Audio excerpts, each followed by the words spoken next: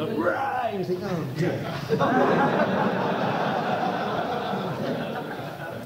know, I was brought up in the old-fashioned way. I don't like making a dishonest living.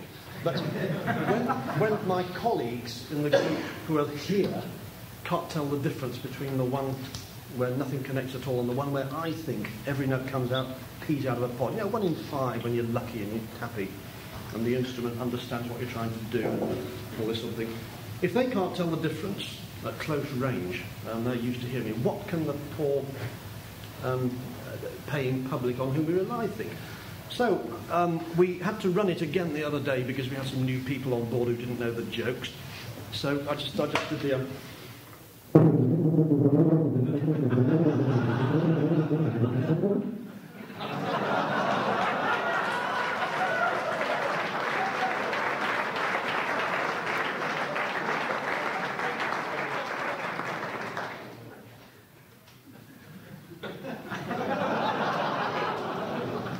the question was about trills. Um, I mean, the, uh, trilling is not a massive part of the curriculum, but there are just a few trills dotted about here and there, which I do think must be right, and I do think must not be too fast, which I do think should be clear and elegant. Meistersinger, well, if you're on a C tuba, then it's a lip trill. If you're on a B flat tuba, um, th- then you take it backstage and get another one. if it's an F tuba, it's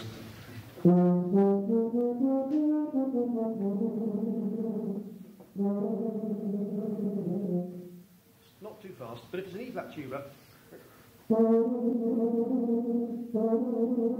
that's a mess. It's a mess. You know, it sounds like a tuba trying to play a trill. Um, I'm all for I'm all for trills if it's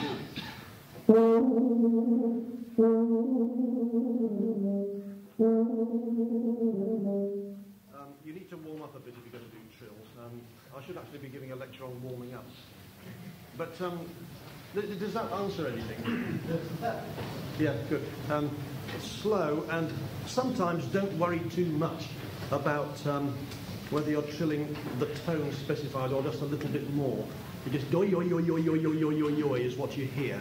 And you'd be very lucky to actually hear what the notes are, especially in a, in a big hall. That's another sub-paragraph, actually. You know, we occupy ourselves rightly with saying, um, oh, that's marvellous new instrument, you know, that's uh, fantastic, you know, and uh, I can do this on it, you know, and uh, every time I play with a you remember my old one, you know, I mean, if I, if I, this sounded, you know, this, this one is fantastic, you know. And make a terrible fuss and we have a row of mouthpieces now. I don't know, is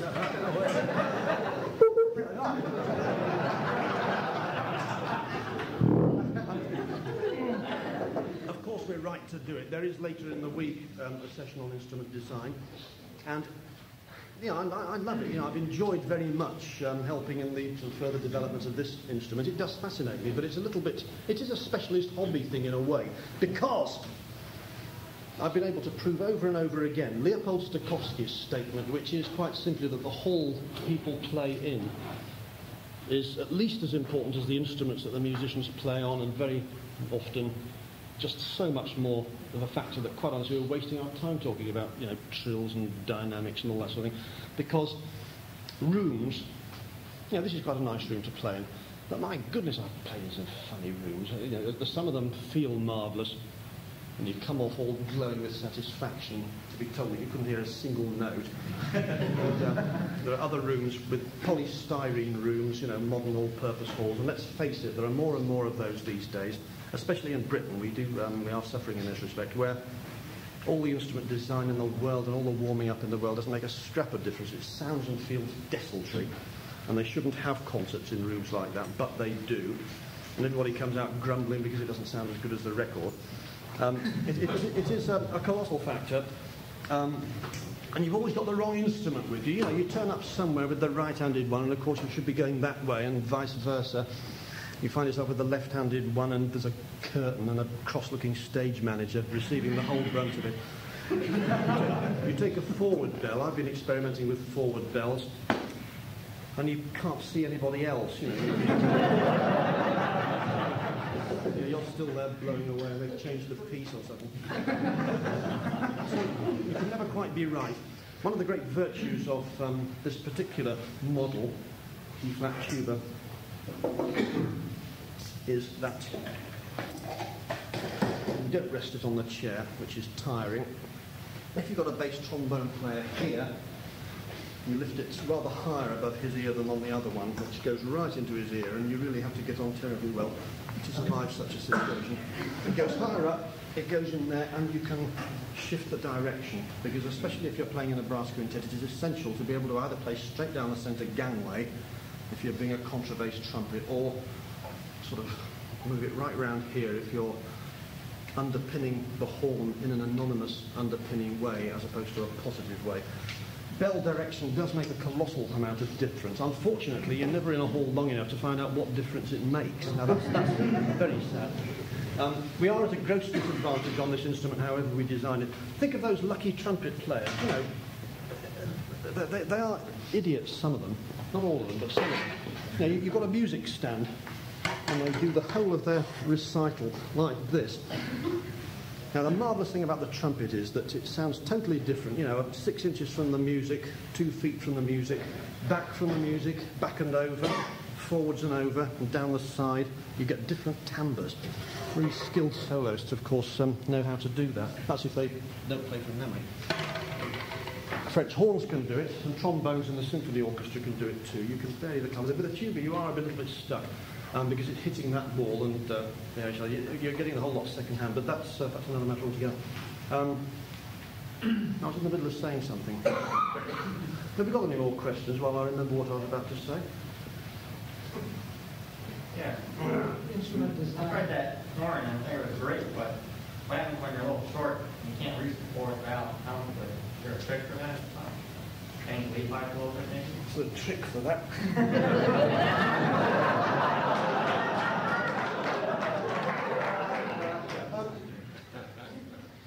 Well, the best thing is for us to get together and me just have a look at you because, uh, you know, I, I, don't have very long arms. And, uh, you know, I'm... um, it's what you're used to, isn't it? You know, it goes along with driving on the left and flat warm beer. Um, we grew up this way, and uh, I personally find it very much to my liking. I also like four in a row, as long as it's not here. I hate four in a row there. Um, I like four in a row there. It lies naturally. Boom, missed. But, uh, you know, we are used to pistons in this formation. Other people are used to rotaries. Um, as long as the valve works well, you know, I don't really care too much whose patent it is, but I am used to pistons. And you know, I, I know all the foul languages, understands when it sticks. Because they, that they understand English and French. yeah. I've, I've, run through most of my sort of topics, so uh, it's now yours. It's now yes. You were talking about the F tuba earlier. Yeah. Do you use F tuba regularly, or are you relying mostly on the E flat? No, I don't use F tubas regularly because um, I was 43 last week, but um, um, that is very late to start on the F tuba. Um, but for all that time, I was unable to find a good one. Um, there are a lot of very good English F-tubas, very, very good ones indeed. Um, if I can just do a spot on the F-tuba, um, I've tried many, many German ones, which have certain virtues which I think cannot be beaten. A lovely clarity. It goes down to the bottom of the bass clef, and then suddenly for me, and I do emphasize for me, it stops dead. And some parts that one would play on an F tuba don't go below that, and so you would be home and dry. So therefore, do you spend $4,000 on an instrument which would do three pieces for you? Um, the answer is no, unfortunately, um, in Britain, because our method of funding is ramshackle to say the least. Um, we, our orchestras don't buy instruments for us. Every instrument I've bought I've paid for. I've never been given an instrument. I've paid for it because I'm free to say it's rotten.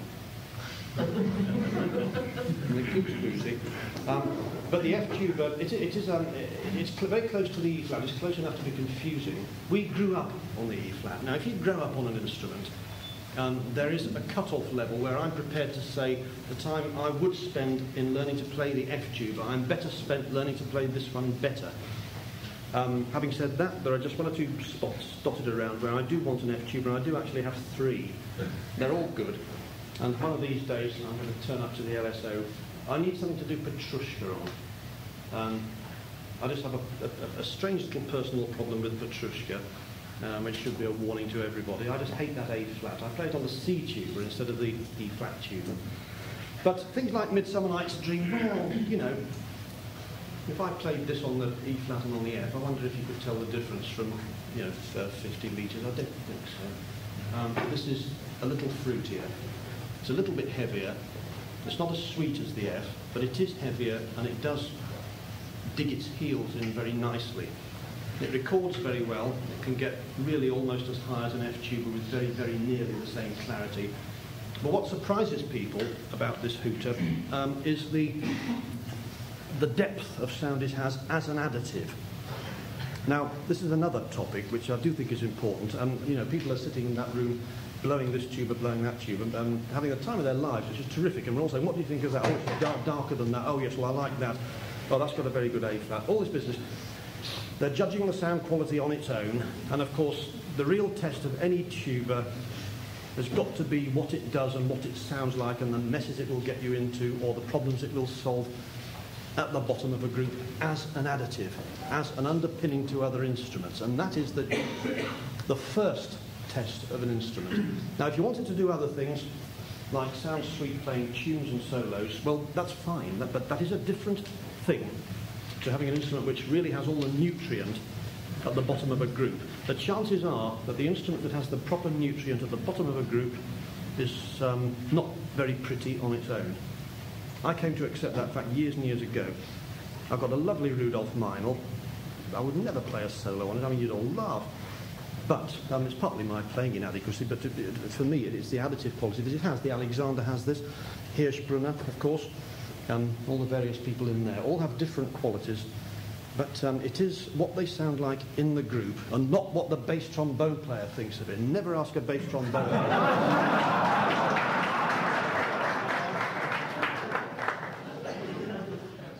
I've been very, very lucky all my life with bass trombone players. Really, I'm the most fortunate man in the world. If I, you know, when I finish up at the pearly gates and I'm thanking God for what happened to me, it is actually the colleagues I've worked with for which I'll be most grateful. I mean, I've been in some scrapes. I've sat next to a marvellous bass trombone player who doesn't waste words. For instance, several years ago, Chester was talking about breathing yesterday. Several years ago, I toured Southeast Asia. And there are a lot of insects in Southeast Asia, and so you take even half a breath, and the little wretch goes straight in, and before he drowns, he bites, and you get a terrible um, throat infection. It happened to all of us. And so, in self defense and absolute phobia, I started going like this, breathing in, keeping the tongue right round the mouth, just to stop the wretches going in. There was still plenty more to go, but I, I, I stopped the rest. I came home, and I think it wasn't long before we did the Berlioz Fantastique. Um, and in London, we play that on the little and often breathing principle. Instead of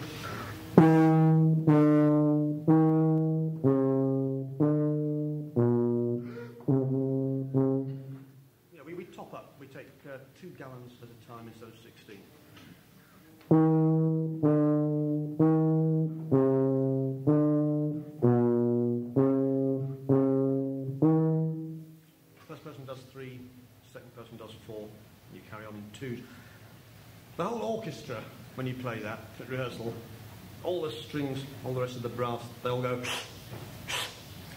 in unison. And of course, visiting conductors don't see the joke and they, they think they're being very cruel.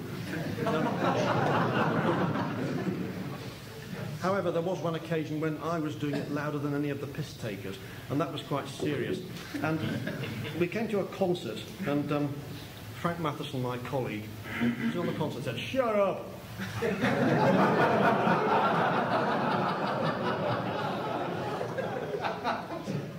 It was quite loud, and I thought, oh, well, I really must do something about it, otherwise you're going to be yelling, shut up, on all the concerts. you know, you, you need good colleagues, but don't ask them whether an instrument sounds good, because they're far too close to it. They're far too close to it. Instruments which sound good here very often don't sound anything at all at a distance, and it is distance that we're looking for because concert halls are big. Even if for brass quintet concerts, it's probably going to be in a room this size, maybe. Um, although, of course, you do find yourself in weird situations. But you are looking for the ability to project. We're also looking for clarity. Um, this takes me on to another topic, um, which Chester also mentioned yesterday, about colouring the sound of the mouth. You see, we're all talking about instruments and mouthpieces as being the source of uh, this or that adjustment, and uh, it's you that's making the noise. You know, you, you're going down a brass tube. And whenever you're getting too serious or too anxious and in a terrible mess and you know your life is collapsing around you, just remember that all you're doing is you're going down a tube and no one asked you to do it.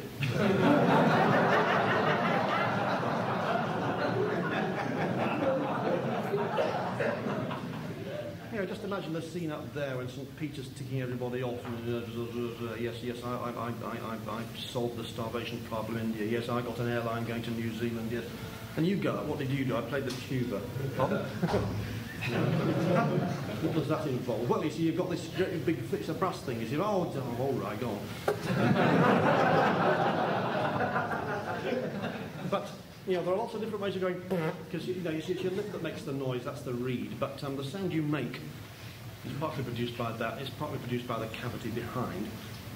There is a natural tendency to have the biggest cavity behind, like Italian opera singers or something like that oh, so everything opens up, open throat and everything, and uh, finally you can hardly hear anything. If you want to be more audible, you've got to actually close everything up until uh, somebody like me who's got a very, very average voice, you can close your mouth like that, and it sounds, you know, sounds like a lot of those um, people up in the north of England where I come from, you see. you can colour the sound you make very effectively.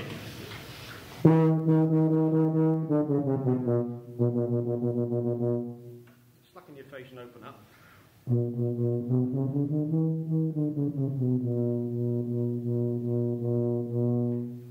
If you're looking for timbre within a note, then it's lovely to expand and make a rather more fruity and luscious sound. But supposing you're playing not necessarily the flight of the bumblebee, but a, a, a brisk passage where clarity and punctuality are the order of the day. Um, let me see. Uh, Alleluia chorus.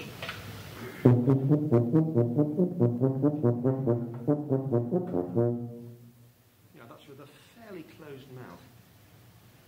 If I close it right up, play very tight. That's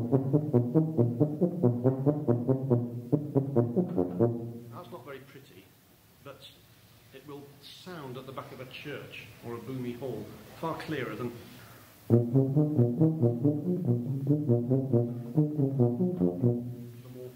that one that one's very nice for minims.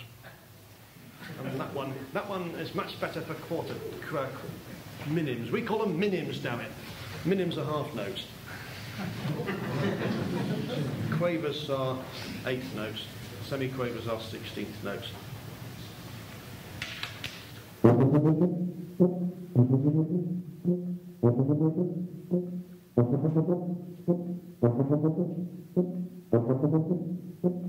connoisseurs of the tuba obviously don't find that last one particularly pretty, but it's the one that works. You know, if you've got mystified customers wondering why instrument in the background, that, that is part of the part of the necessary skill.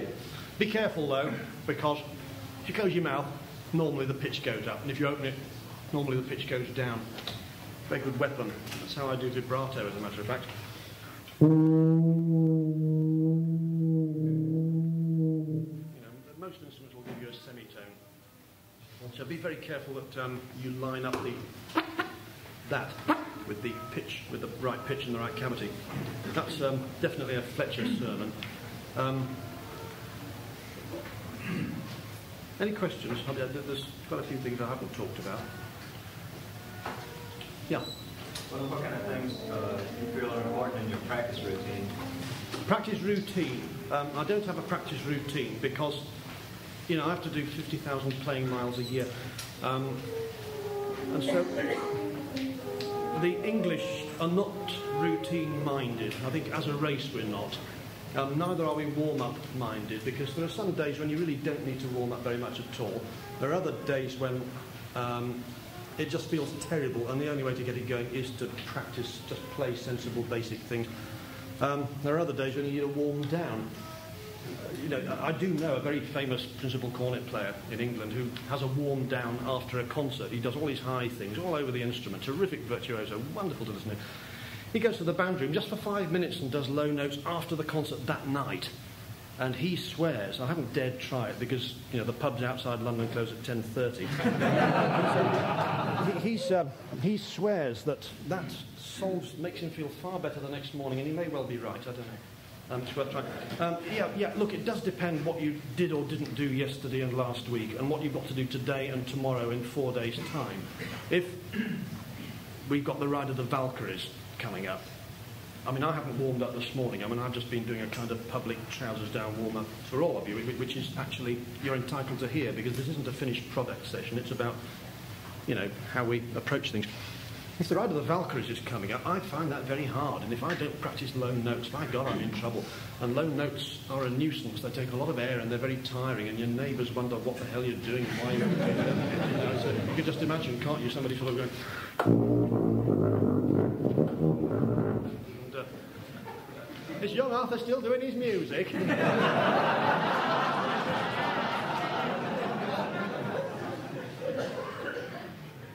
tell you a lovely one for low notes. It's a beauty. And several years ago, I was told by a very cross brass bandsman in a pub after a concert that I wouldn't, I wouldn't last two minutes in a brass band. And he was referring to um, something we've been talking about. So I thought, oh, yeah, I wouldn't last two minutes in a brass band. What do you do for two minutes in a brass band? And I went.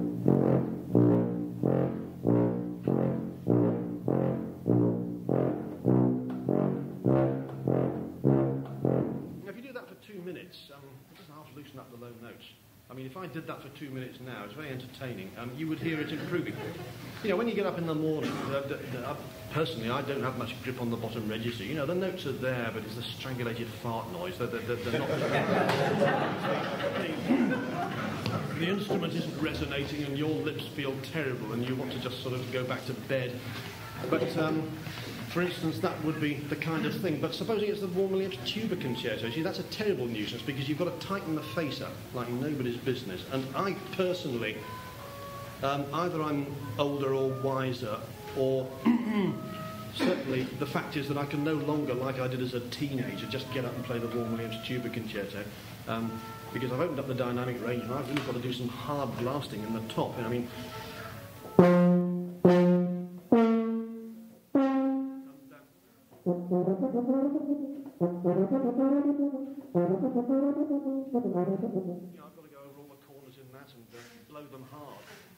so that playing it loudly on a concert doesn't come as a shock. Um, otherwise, supposing it's an average week, supposing you've had an average week, you've got no semiquavers to do, and you've got no semiquavers next week, and you haven't done any, it's as well to keep everything going on a united front if you can. But if you can, does involve a lot of things. It depends on what time you get back at night. You don't want to disturb people. You can put a practice mute in. And the warming up business, of course, um, we do have a different attitude to that because most places where brass bands or brass ensembles or orchestras play, in my experience, have very, very limited space and accommodation backstage, and we have that one hour when the cellists want to have a bit of a rest. And so to have somebody going, um, you know, occupying a whole booming corridor and the music flowing, going,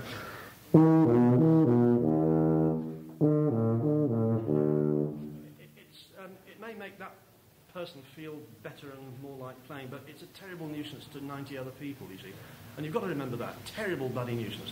And it's the same in the brass bands. You should see the places the brass bands play. You know, they're, they're sort of standing in the street outside warming up or sitting in a van or the car or something. And uh, it's very limited.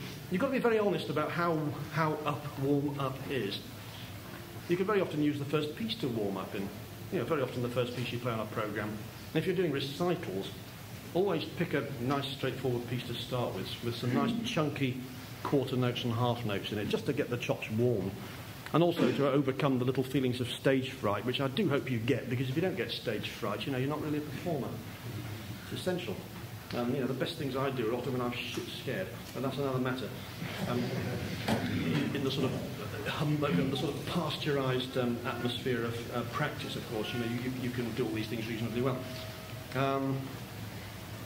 No, gear practice intelligently to what you did yesterday and have got to do tomorrow, and I can't do any better than that. Don't practice endless high notes just because you've got the Vaughan Williams to come up. If you practice up there, then the whole face tightens up, and all these muscles suddenly will say, What are you doing? And you'll probably get a wobble. Don't forget we're face athletes and lung athletes. And if um, an athlete suddenly were to be doing 100 yard sprints, many per day, far more than he usually does, then his legs are going to go. And especially if you start first thing in the morning and trying to do that sort of thing, um, you're going to do yourself an injury. So just remember that uh, we weren't actually designed by the Almighty to go down a tube. It's something we've brought on ourselves. It's great, great fun and great amusement. The fun, I mean, I enjoy playing this thing more than ever. Part of the enjoyment, of course, is to do it better. Um, you know, occasionally I come off the platform thinking, oh God, but you know, I'm getting old in the tooth now, and there'll probably be several next week which will be all right. And there was one very good run in 1971 that I remember as well. so, you know, you sort of keep fueled up and you go on, and uh, you know, some days it's not as good as others because we're human. And some days when too much practice can wreck it. I'm quite sure of that, but knowing which is the one to under practice for and over practice for is quite a skill. There are some people blowing brass instruments at the age of 80 who still haven't sorted that one out, but there are many days when the best ones I've done have been with no practice. Straight in, do it.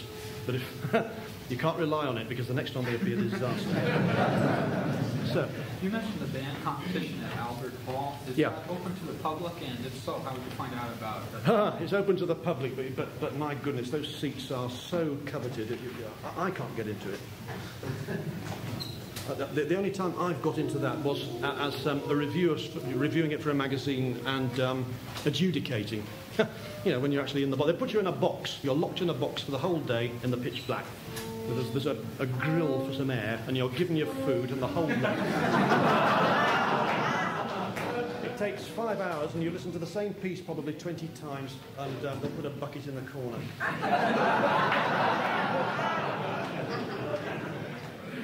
hard. When you practice with a mute, uh, isn't it different as far as the back pressure in the mouthpiece? And do you find it useful to practice with a mute? Well, actually, yes, it, it is useful to practice with the mute because it feels marvellous when you take it out. That's quite, quite, quite seriously. Um, if you blow hard against a mute, it's very useful for, you know, you arrive at a place, you've got um, 47 minutes before the show, and, you know, you're going to be taken straight there, no warm-up time. There's a motel, there's an airline pilot next door getting the vital sleep before doing Hawaii. Um, you, you, mustn't make a noise. Um, I've got a euphonium mute that goes all the way into the bell, stops it down completely. I also use it as a normal mute, and it's very good for practicing, just, just really opening up. You've got to practice loudly. People often don't practice loudly, you know. They're in a small room and they, they play at comfortable dynamics which feel loud in a practice room. You know, there are times when you've really got to give it some welly at home. Otherwise, you forget what the sensation is. You get back on there for real, and the din around you is forcing you to blow loudly, and you tense up. And when you tense up, everything starts going wrong. The breathing, first of all. So do practice playing loudly. It's terribly important. Really give it one for one minute or however. Don't, don't, don't, don't hurt yourself. Just remember what it's like and remember that that's your duty for certain moments in concerts. Wow. How are we doing? Anything I haven't said yet?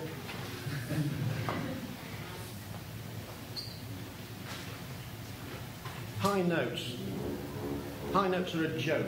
Um, I remember um, you know, people are often astonished at how high a tuba can go. Well, of course it can. I mean, all you've got to do is tighten your mouth up, and you know, the sky's the limit.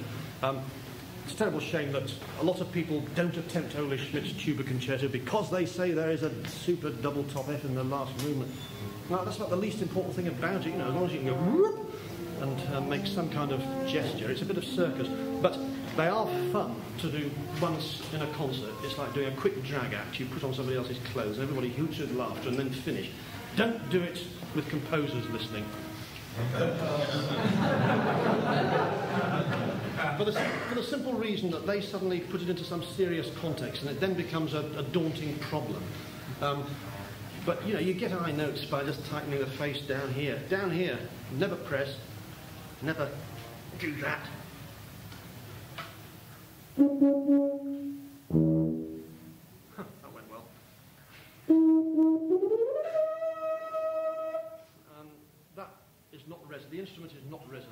Thank pipe going. That's all. But they're a joke. But don't take them seriously. Don't go into corners and practice super top W's because you've had somebody else do it. Do it as a sort of, uh, you know, a bit of amusement for yourself and a once only on a concert amusement for the audience. Because it's a bit of circus, you know, it's the elephant standing on its head just for a second. But, you know, you... elephant standing on its head for two hours is, you know, you start... start looking for other things to do double stopping. Um, don't do this with composers listening, but you know, it, it is quite a laugh to.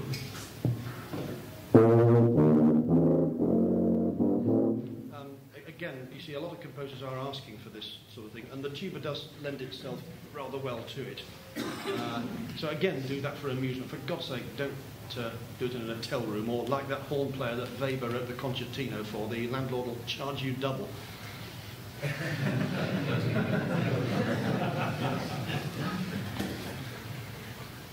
There must be other joke things which must always be treated as jokes. I mean, the, the bottom register, you know, you hear people, um, well, you hear me actually sometimes.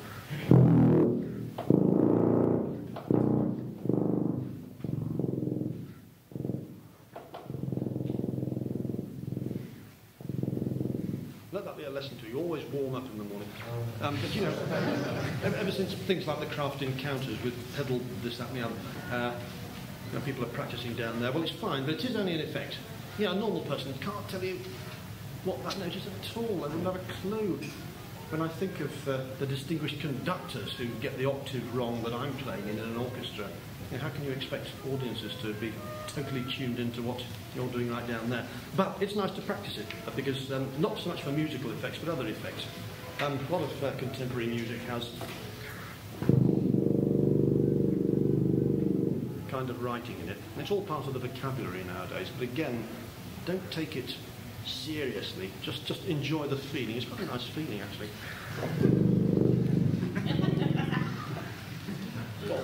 No, maybe it's not. I don't know.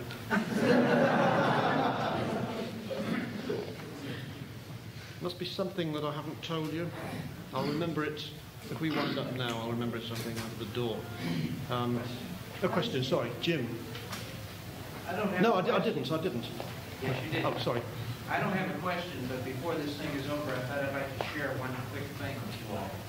Uh, two or three years ago, the London Symphony was in Los Angeles for the first time that I had been for. I don't know if it was him the first he was there or not, but it was a wonderful concert. And after the concert, we were all, all kinds of musicians were in the uh, lounge, the bar downstairs. And I quite candidly overheard the first cellist the London Symphony, who I forget his name, telling another cellist, the finest musician in the London Symphony is John Fletcher.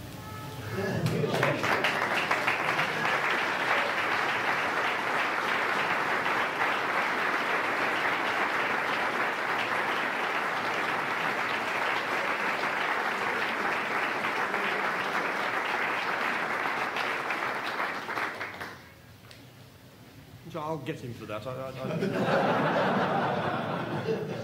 As a matter of fact, the reason I've got to leave this a day too early is because he's playing the Elgar Cello Concerto, and um, I've got to be there. Andre Previn's last concert with the London Symphony Orchestra. Altogether, ah, it's been 17 years and very good too.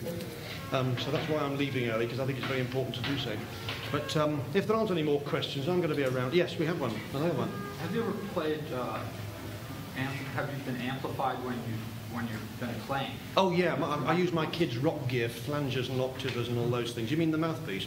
Uh, no, like through a microphone. You know, oh well, yeah, of course I have. Yeah. And how do you find uh, the amplification uh, methods that are used now? Oh, they're mostly damnable. Um, most amplification is, most recording is, because uh, most recording engineers, sorry, this is another hour long thing, isn't it, Harvey? um, recording, you know, recordings are machines, and the machines are designed by people who have their own idea of what instruments sound like. Most people are reasonably clear what a trumpet and a trombone sound like, although very often they sound a bit like that, but it doesn't matter very much. But most of the recordings that I play in, I've just got used to the fact it sounds like this, because if you shove that sort of a sound into a big amplifier, they could control it easily. And uh, most of the recordings I've done are either like that or they're, um, you know, the hippo in a bathroom. Where it really doesn't matter what you do. Um, it's one or the other. There are very, very few recordings that I've heard of my most esteemed colleagues, which I, where I think they've been done any justice by the recording, and it is difficult to do. I'm not altogether criticising the recording industry because um, they actually partly don't know. And once they've made their product, it then goes away to be pressed and mixed and all the other things by somebody in a lab who doesn't care touch what a tuba sounds like. Um, so we do suffer quite badly in this respect. And I don't know what the answer is from to do all your recording yourself. I've got some mics at home which make me sound quite like I think me sounds like. And there are times when I'm tempted to take them to recording sessions and just sort of stick them up and... Uh, then of course you know you, you would be in trouble. But recording is a tricky area for it grieves me that um, a lot of people know me through recording, and I can't. Uh, actually, most of the recordings, truthfully, I've not heard because I know I'm going to be sick when I do hear them, so I, have avoided it. Yeah, records are what happens on a Thursday morning when you're either in good shape or bad shape. Um, as far as I'm concerned, concerts are the only thing that count. Real events with real people turning up to make you nervous, and when you're nervous, you know, then things might happen. You might collapse, you might make a terrible mess of it because you're nervous, but you might play better than you've ever played before. That's the one you're chasing. Records, that's not nerves, that's negative tension.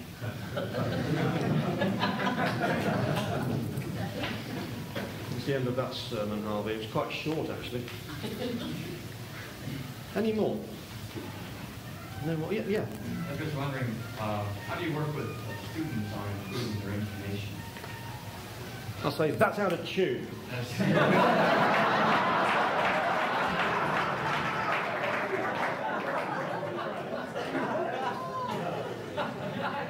No, sorry, do, do, you want a paragraph on this? Because, the, the, the, again, one of the disadvantages of the tuba is Upper instruments rely on you for good tuning. If a tuba is out of tune, especially in a brass group, it throws up foul, rancid harmonics which mess up everybody above, and the principal trumpet's there wondering why he can't get a third. And it's because that sob down the line is playing flat or sharp or out of tune. And uh, it's a very hard one. Um, a person who plays consistently out of tune has probably got a bad ear and probably won't. I, I'm a great fatalist. I think there are some people who can tell whether they're out of tune, and others who probably never quite will.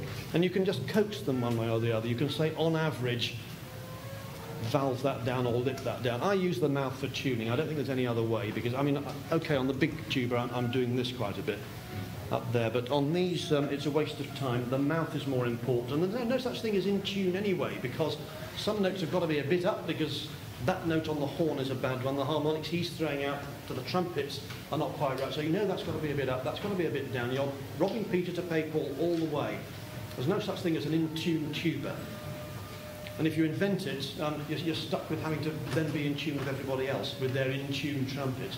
It's all glider pilot. It's like being putting a glider up there and you've got to get it down without bumping it. In the orchestra, do you pay close attention to the principal trumpet or principal trombone? It depends if he's there. um, yeah, yes, of course I do. Yes. Yes, listen very carefully, but we've got a wonderful principal trumpet. The intonation is so secure, I never think about it at all. I'll just go boom and put it down. It's the same note that's been there for 16 years. If it's sharp, it's really I've stayed up too late. I've been, you know, messing about. Been practicing the Carnival of Venice or something. all, all these things do mess up tuning but do practice the Carnival of Venice. I, I, that's my ambition to play it one day. Did Mike do it last night? Yeah. Yeah. Um, it's one of my the greatest memories of my life was hearing Mike do that at the Royal Albert Hall after the Brass Band Championships in the most hostile and chauvinistic atmosphere anybody can play. He got up and played that piece like I've never heard. It. It's fantastic, marvellous. And I was just I was asleep. I was jet lagged last night, but I have heard it. and It's marvellous. It's terrific. But don't spend all your time practicing it. For goodness sake, practice something else as well. Sorry.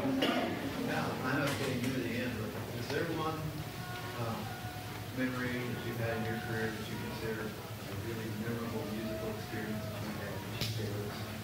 Yes, playing Brahms' Second Symphony with Karl Böhm at the Salzburg Festival. There aren't very many notes in the tuba part, but my goodness. Um, yes, that's it. that's the one I take to my go. There are hundreds of others.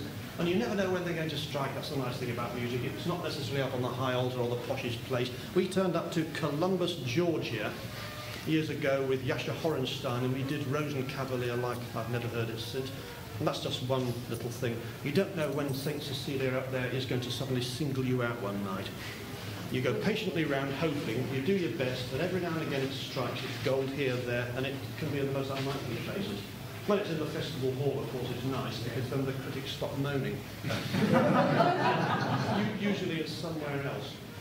Yeah, Brahms too. About how many notes are there in that tuba part? Anybody counted them? 50. I'll have to claim them then. One quick question. Would you play the E flat tuba on the Ben Britten's uh, Spring Symphony? Yes. Yes, actually, this, yes, uh, um, we're running over time, Harvey. Is that, is that, is that a worry? Look, I play a C tuba most of the time in the symphony orchestra because it's weight of, rightly or wrongly, it's weight of sound and depth of sound that we're looking for because of the arms race. But there are a lot of things which are far better done on this. The Spring Symphony is absolutely one of those, no question. You've got to have that uh, punch. It's an E-flat part. You but Britten and people like that had that sound in mind. Havergal Brian. Pardon? Havergal Brian Gothic Symphony is it's in the Guinness Book of Records as the longest and the most expensive symphony ever written. The tuba part is 50-something pages. There, there are two tubas. He didn't play the instrument, he just loved it, up and down the whole time. We could actually have a whole symposium one day studying just that one tuba part. Extraordinary. Rather good piece as well. Something there wasn't, the arm trace, as you say, what pieces would you on Sorry? C2? What, what tuba, what pieces? Yeah, it wasn't an what pieces would you still use on C2? Keep, happy to answer everybody else. What pieces will I use the C tuba on? Well, don't forget, a lot of the orchestral repertoire, actually, it doesn't matter either way. And it sounds bone idle, but I very often use what's on the van, which happens to be the C tuba. There's a lot of uh, orchestral tuba parts where it really doesn't matter. Um, but there are some where I would, be I would consider myself professionally a bit negligent if I turned up and did, well, say the Spring Symphony, um, since you mentioned it, but Berlioz overtures.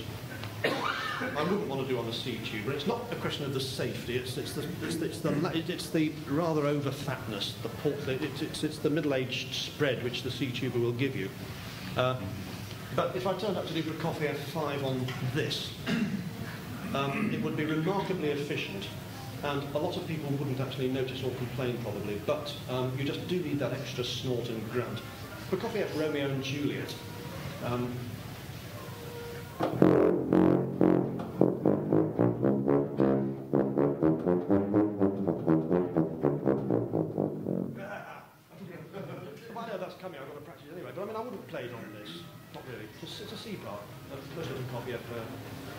of A lot of Wagner. What do you think of the B flat? Well, what do I think of the B flat tuba? If it's a good B flat tuba, then there are lots of things in the orchestral repertoire which actually are very good on the B flat tuba. There's no doubt about it. But how many bloody tubas are you going to carry around? Um, that, that's the next question. I've got ten at home. And it's a fairly big house, but you know, I've got ten tubas, and I've got two kids and a mother's wife as well. Um, you know, got to make room for them all. Yeah. I'm supposing my one piece that I thought goes marvellously on the B flat tuba. I'm supposing something else on the programme is very definitely better on something else. Then, then forget it again. Um, but I've heard people play the B flat tuba in the symphony orchestra very well. They're used to it. I think if you grew up on the B flat tuba, why not stay with it? Because it's the same old thing. Practice the instrument that you know and play that better. That's sometimes preferable to messing about with other gear, but not always. You know, you fall into your own habits for your own reasons. Uh, your Philip Jones brass work is done in E flat. Yeah. Clarity. Clarity. What did Chester say yesterday? Clarity. Our biggest problem, and it's got to be on a small instrument, if you're playing any kind of sentences, if you're speaking in any kind of way, playing lines, musical conversation, clarity. Remember always, if you think you're clear, non-bass clef people don't think so. You're, you're speaking about clarity, but there's really, uh, let's see, there's not been a lot of said about how to develop specific techniques. I personally, I find mouthpiece one helps a lot. How do you feel about that? Mouthpiece, yeah. I mean, mouthpiece playing is also uh, very useful for traffic jams because we spend a lot of our time. The hardest thing about being a professional musician in London is getting to the assignments, getting to where you've got to be. It's damnable. Um, we don't have your throughway. Uh, mouthpiece practice is quite useful. I learned to double tone on a mouthpiece sitting in traffic lights. Um, it gets the chops going and you arrive, you know, exactly on the downbeat and the conductor goes like that and you can sit down and you can play the first note like that without embarrassment because you've got warmed that. Achieving clarity though, um, generally speaking, clarity can only be achieved with a reasonably tight face. Not with what I would call a trumpet embouchure necessarily, but if you've got large lips and you're well endowed and can make a nice fat sound just by going oh, then you're going to have more problems than somebody like me that's got a very average sized mouth. It works reasonably efficiently, but it's only very average in size. I didn't make a fat noise. Um, I heard clarity as a kid, therefore I subconsciously tried to imitate it. And if you've got a musical ear and you try to emulate something, very often you, you don't talk about muscles or how to do it. It sort of slowly comes by the process of imitation and uh, influence. Uh, but the face has got to be reasonably tight and the mouth not too wide open. Um, in other words, you, back to what I said earlier about uh, you know closing up a little bit if you've got to actually utter sentences. If you're playing nice big fat notes, then open But it's much cheaper than buying 27 mouthpieces. You know, you can get by on one. Nobody can find the, the perfect mouthpiece anyway, can they? Anybody found the perfect mouthpiece? Yeah? Anybody? No. But you, you know, you find one that sort of does quite a lot of things reasonably well most of the time. The best offer I can